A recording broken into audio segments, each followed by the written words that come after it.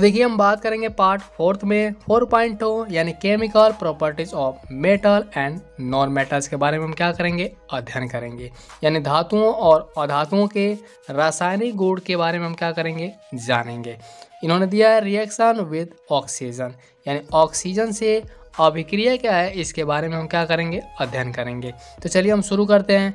यहाँ पे इन्होंने दिया है you are familiar with the phenomenon और आगे इन्होंने दिया ऑफ़ रोस्टिन ऑफ़ आयरन यानी कहने का मतलब ये आप आयरन में जंग लगने की परिघटना से परिचित हैं। यानी आयरन जो होता है, उनमें जब जंग लगता है, आपने देखा भी होगा, जाना भी होगा, पहचाना भी होगा कि जंग किस प्रकार के होते हैं, कैसे लगते हैं।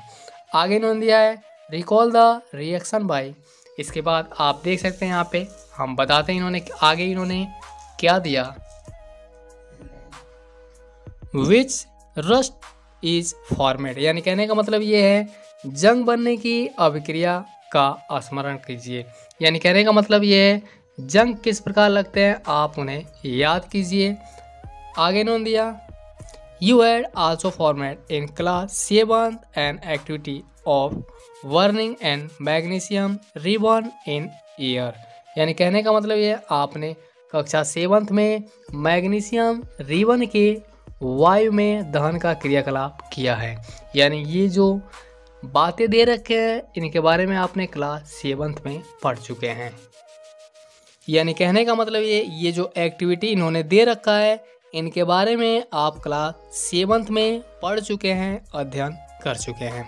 आगे इन्होंने दिया you have learn that in both the process oxide और यहाँ पे दिया फॉर्मेशन टेक प्लेस यानी कहने का मतलब ये है आपने क्लास सेवंथ में सीखा होगा। दोनों प्रक्रम में ऑक्साइड बनते हैं। आगे इन्होंने ये दिया complete the following reaction of iron and magnesium with oxygen iron और मैग्नीशियम की ऑक्सीजन के साथ निम्नलिखित अभिक्रियाओं को पूरा कीजिए। जैसा कि यहाँ पे इन्होंने दे रखा है आयरन यानी एफ़ ई से हम क्या करते हैं?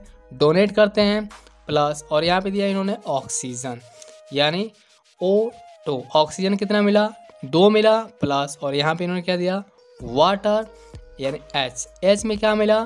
टू और यहाँ पे इन्होंने दिया ओ और यहाँ पे इन्होंने दिया है मैग्नीशियम, यानी एम जी प्लस ऑक्सीजन और यहाँ पे इन्होंने दिया ओ टू ओ टू का मतलब होता है ऑक्सीजन टू का मतलब होता है टू ऑक्सीजन है इसमें।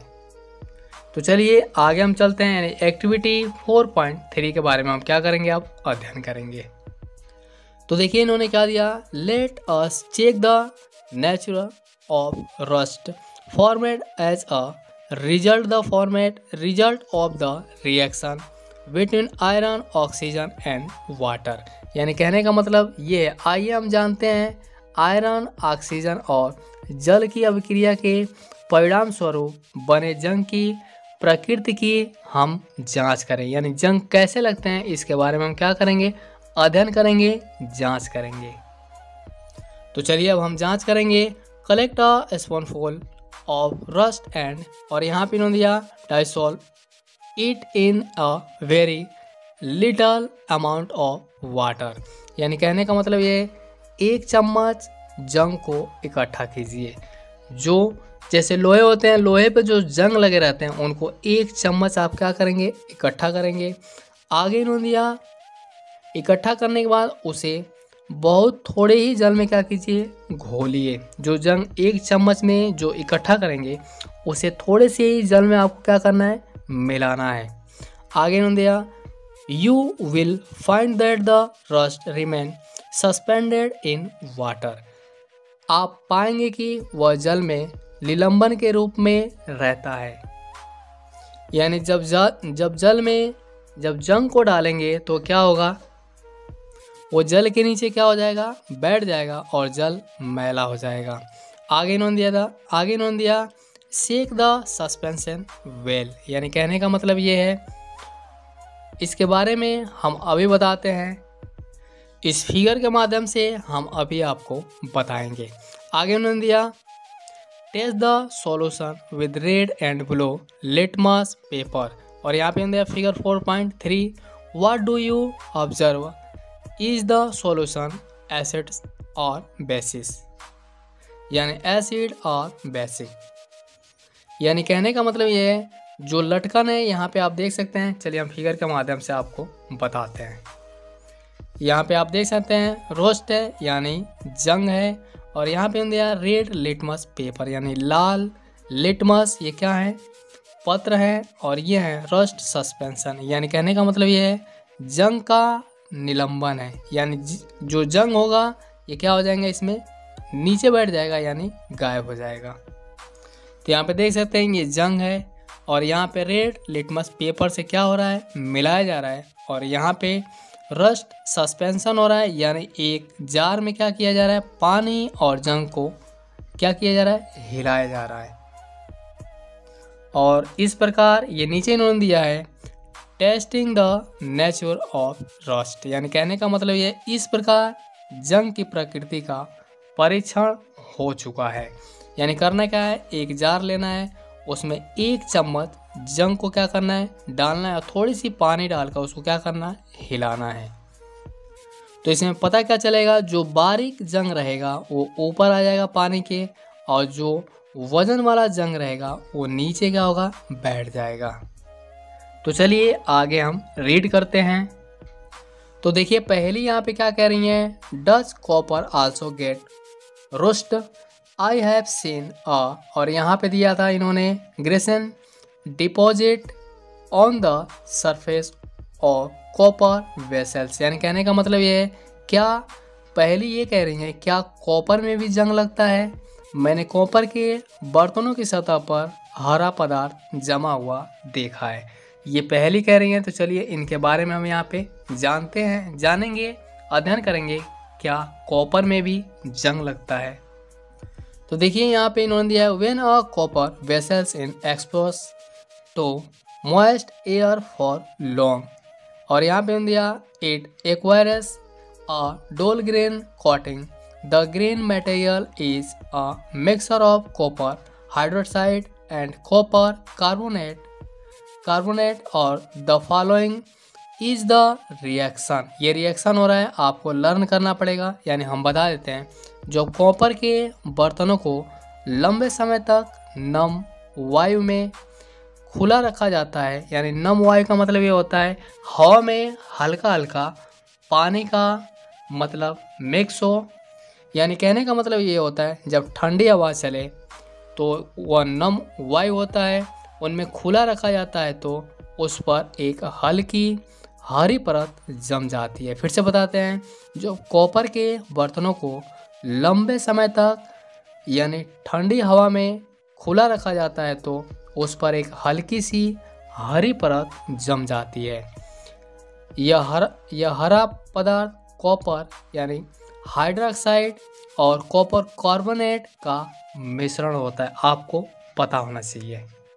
और ये इनका क्या है? रिएक्शन है, आपको लर्न करना पड़ेगा। तो चलिए हम आगे चलते हैं। ये लर्न आप कर लीजिएगा। यहाँ पे आप देख सकते हैं। तीनों दिया now recall the activity of burning magnesium ribbon.